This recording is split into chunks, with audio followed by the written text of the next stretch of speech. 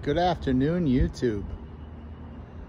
So a little change of pace. We're out here at one of my listings in Paramus, New Jersey, which is also in Bergen County, where Edgewater is located. I'm about a 15 minute drive from Edgewater in New Jersey in a town called Paramus. Beautiful Bergen County town.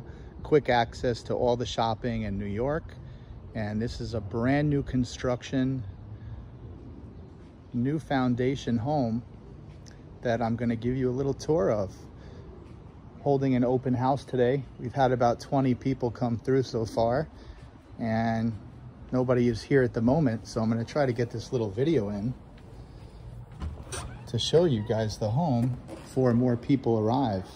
So this home is six bedrooms, five and a half bathrooms. One bedroom is on the first floor, which you'll see in a moment, and four are upstairs. So your dining room area here. Beautiful chandelier lighting. Mood lighting around the top, which you'll also see in all the bedrooms. Here's your little living room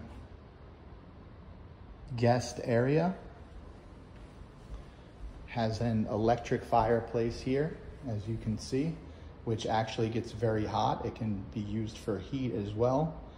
Um, so low maintenance, being it's electric and nothing to clean up. Little nook here, which I would consider for a wet bar. And we are gonna walk over here. As you can see, everybody comes in, puts these little things on their feet to keep the floors as perfect as they are. And we are gonna walk through the kitchen area. This kitchen actually has like all the air sign-in sheet. This uh, kitchen actually has two sinks. As you can see, it has one on the island and it has one over here. The window faces the backyards of the backyard of the house. From this spot right here, you can kind of look around and see every area essentially of the first floor from right here, which is nice. So it's an open layout yet it also feels like every room is separate, which I like. It's a nice combination of openness and feeling a little bit more intimate. This is the sliding glass doors to the backyard. I'm gonna open this up. Take a little walk back here so you can see what the backyard looks like, back of the home. Kind of a little side yard. That's where your access is from the front of the house. And the backyard area. The back of the home. It's a beautiful July day here in New Jersey. If you've watched any of my previous videos, it's been so hot and humid this summer, but the humidity past few days has dropped. So it's a beautiful summer day here, gorgeous day. So this I would consider like a little guest bedroom. It can be utilized to your choosing, but I would consider this a little separate section of the house. It's almost like a little one bedroom apartment, basically a little living area. Windows facing the backyard. And this is the one bedroom that is on the first floor. Right here, same thing, windows facing the backyard. And as I basically turn around here, you have a closet so it's a full bedroom, full bath. You have your closet space right here and a full bathroom, as you can see. So great color combinations. The builder did a fabulous job. I'm in love with this home. So that's the first floor. Now I am going to take you guys down to, actually before we go down there, I'm not finished with the first floor. So big closet, this can either be a coat closet or a pantry. As you can see, there's no shelves or poles or rods or anything. Uh, the builder is waiting the specs of whoever purchases the home, however they want it. The shelves will be put in accordingly. This is the half bathroom on the first floor. So on the first floor, you have the full bathroom that's in the bedroom. And this is the half bath for guests. You have a long coat closet here. And this room over here actually was going to be turned into a mud room, being as you'll see in a second, that's the garage. But they left it open in case the uh, whoever the, purchases the home wants this to be more of a pantry or something like that. So as of right now, it's open and it can really be either or, a mudroom or a pantry. We open this door right here for access to the two car garage. Very spacious garage. You can fit two cars in here and put shelving and, and actually have space to move around the cars. So I believe the width of the garage is, I wanna say it's like 22 feet, I wanna say. So pretty wide, two car garage right here. And now we have completed the first floor of the home. I'm gonna take a little peek outside to see if any cars have pulled up. I don't wanna miss anybody coming in. And so far we're good. Okay, this door right here, access to the basement. Let's go downstairs and check out all the space down here. So very large finished basement. As you can see here, we have the boiler room, which has ample space. You can fit an SUV in here, so plenty of space for storage. Here is basically just a small little closet area. We have another closet over here, and you, that, you have a full bathroom down here on the um, finished basement level.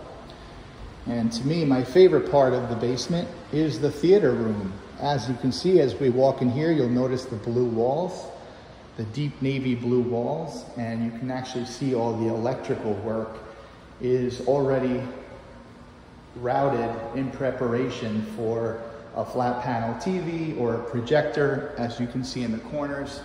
They're already ready for speakers. So being as you can see, this room is not gonna get a lot of natural sunlight. Um, this would be an amazing theater room with seating. So pitch black down here when you shut the lights off at nighttime and play a movie, which is pretty awesome. So again, very large, finished basement, very clean. Beautiful job they did down here. So that is the basement. Okay, that's two floors. We got one floor to go. We're gonna go back up to the first floor. I'm gonna take another peek outside to make sure nobody's coming in. And I think the ghost is clear. All right, let's head upstairs, top floor. So remember, one full bedroom on the first floor and four bedrooms are upstairs. So once we come up here, you'll see beautiful open layout here to see downstairs. They did an absolutely phenomenal job with the layout of this gorgeous home. These lights here are amazing. They can actually, this key here brings these lights all the way down. So as you can see, you can probably see there's one bulb there that needs to be changed. With that key, you can simply bring the lights all the way down to the first floor to easily change the light bulbs.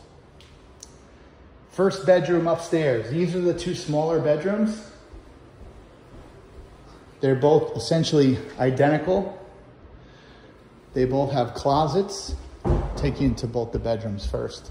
And then they share a second bedroom over here very similar size closet. I think the other one's a little bit longer, same depth. And then the bathroom that basically splits the two bedrooms would be the shared bathroom for these two bedrooms on the second floor.